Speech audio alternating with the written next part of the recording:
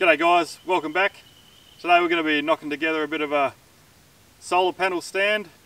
Need some solar panels set up for the uh, solar bore. I've got some star pickets, I've got some lengths of timber, got my petrol powered post hole whacker in a thingy.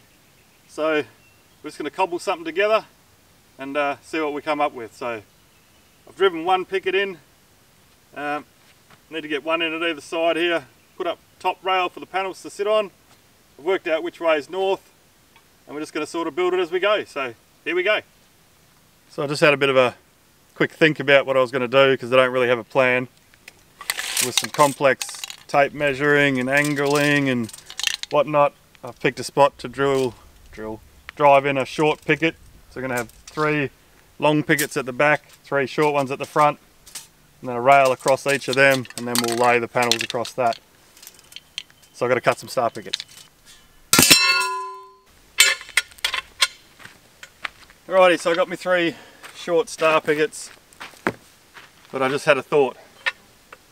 If I put the solar panels over there, I just measured up, the cables won't be long enough to reach the control box, so I got to start again. Like I've only put one picket in, so I'll start off here. Alrighty, we're back where we started. Got one picket in. Now I'll just measure up. The panels are about a metre wide, so I want the edge pickets to be as close as I can, but I've got to leave enough gap to fasten it down into the rail and whatnot, so I'll just guess. Right, I got it all marked out. I'll bang in one of these short pickets down the front.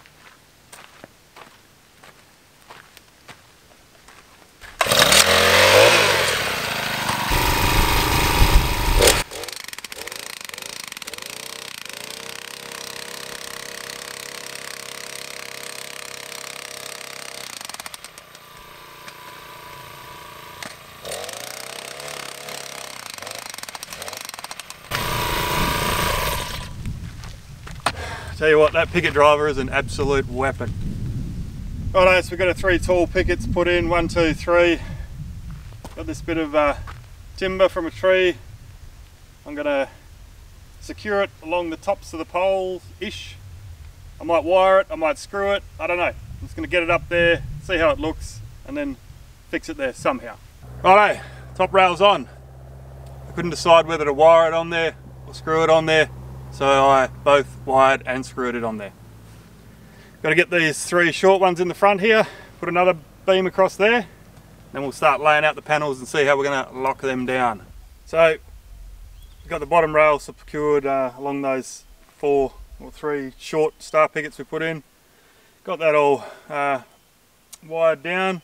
I've put these first two panels up and I'm just sort of playing around seeing how exactly I'm going to fix them to the rails. So this is a bit of a low budget build. I'm just working with what I got, but I've got a bit of an idea. So I'll get a few screwed down and show you how we did it. Well, there you have it. I've got the four panels on. Used a variety of screws and washers and wire and stuff like that. I'm not going to show you too closely. Um, it's not that flash. And it's not that permanent either. I'm just waiting on some real um, solar rails and whatnot, but I got sick of using the the generator to fire up the bore so this will be uh, temporarily permanent until I can get the uh, right stuff to do it. Um, it's currently just after lunchtime. It is hot and um, I can't connect up all the panels to the control panel like this so I'll come back this afternoon when the sun's down and hook all that up and then tomorrow we'll give it its first test run just on solar so I'll see you then.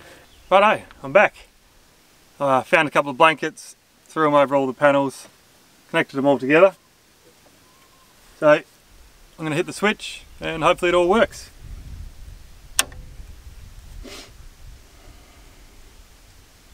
One green light so far. Pump lights come on. Probably won't be able to hear the pump going. Ah, there it is. I can feel it the water's flowing. Sorry it's not very spectacular, but the uh, it's currently hooked up, filling up one of the tanks up the top. So there you go. We've got the um, solar panels hooked up to the bore, running through the MPPT controller box that it comes with. and I no longer have to start the generator when we want to fill the tanks up so that's good. Uh, the solar panels themselves they are 330 watts each. They are Tindo solar solar panels.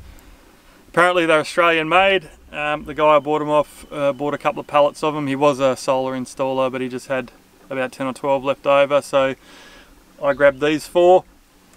Um, yeah, hooked them all together uh, in series. I checked all the specs that it was right for the pump that I have and seems to work. No, no magic smoke escaping from the box. So that's all good. No generator for the water anymore. Lovely. Hope you enjoyed it. See you on the next one. Goodbye.